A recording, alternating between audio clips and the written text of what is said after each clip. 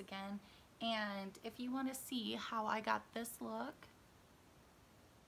then I do have a video and it's starting right now.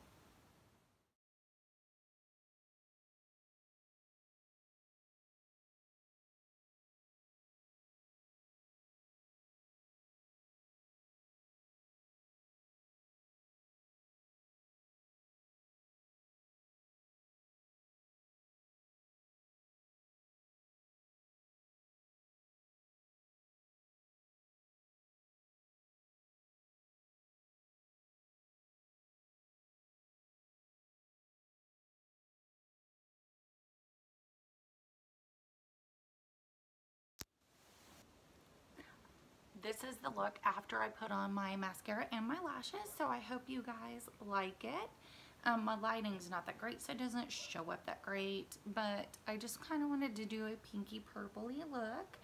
And so, there it is, guys. Have a good day. Mwah. Bye.